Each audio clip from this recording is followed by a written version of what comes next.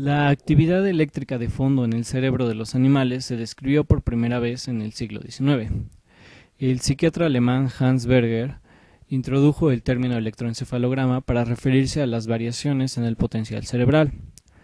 Los registros del electroencefalograma mostrando cierto parecido con el electrocardiograma pueden ser tanto bipolares como unipolares.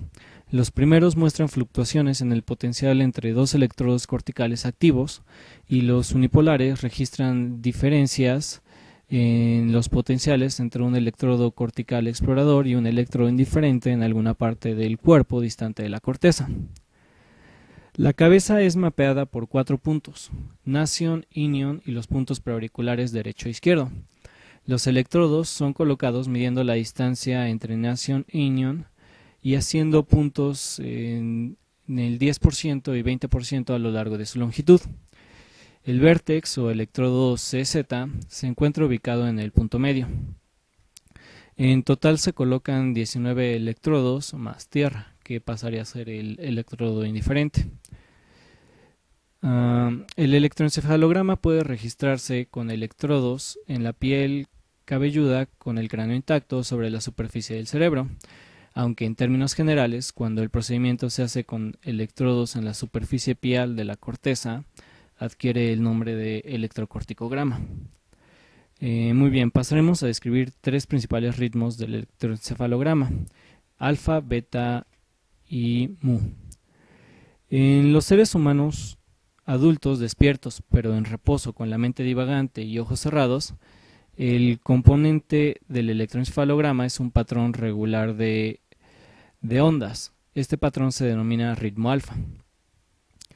Este es el ritmo dominante en un electroencefalograma normal.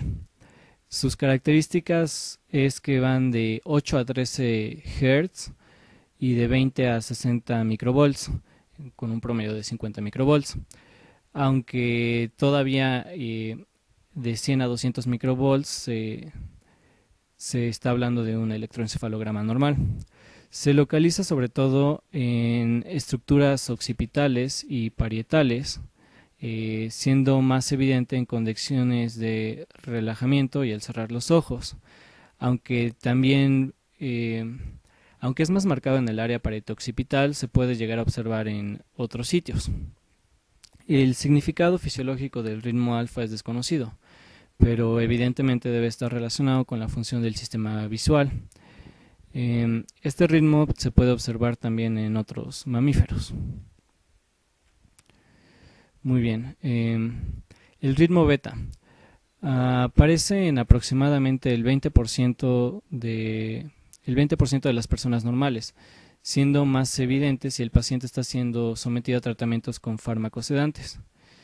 Su significado fisiológico no es claro aún, pero se supone que tiene una relación con la función sensomotora. Es presente en personas con función cerebral normal y en pacientes en estado de coma es un signo de buen pronóstico. Sus características eh, son que es mayor a 13 Hz, generalmente entre 18 y 25, y de 5 a 10 microvoltios. Eh, muy pocas veces eh, llega a superar los 30 microvoltios. Muy bien, el ritmo mu es el menos frecuente de los ritmos de un registro normal, estando en tan solo un 10% de los individuos normales. Está localizado en las regiones centrales y se identifica por su morfología típico, típica en arcos y por ser suprimido si se mueve la extremidad superior contralateral. Eh, está vinculado a los sistemas sensorial y motor de forma contralateral y no guarda relación con lo visual ni con la actividad mental. Sus características son que van de 7 a 12 Hz, usualmente entre 8 y 10, y tiene de 20 a 60 microvolts y bueno, sus trenes son de pocos segundos de duración. Muy bien, la importancia clínica del electroencefalograma es para encontrar trastornos convulsivos como la epilepsia o convulsiones, anomalías de la estructura cerebral, como tumores cerebrales o abscesos cerebrales.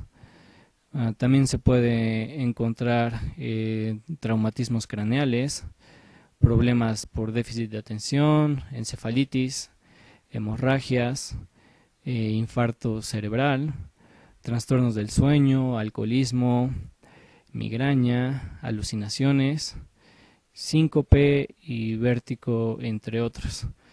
También un electroencefalograma eh, sirve como un método para confirmar la muerte cerebral de un paciente que está en estado de coma.